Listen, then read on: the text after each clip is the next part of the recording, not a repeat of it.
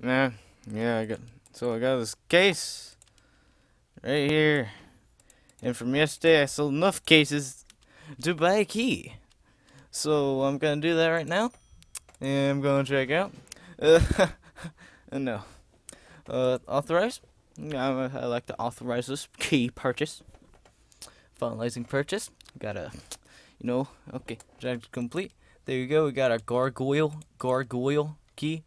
And let's open this case, I guess. This is what I do with every new case.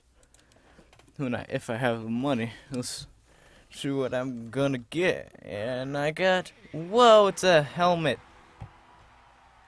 See, it's, it's a helmet. Now I can wear a helmet.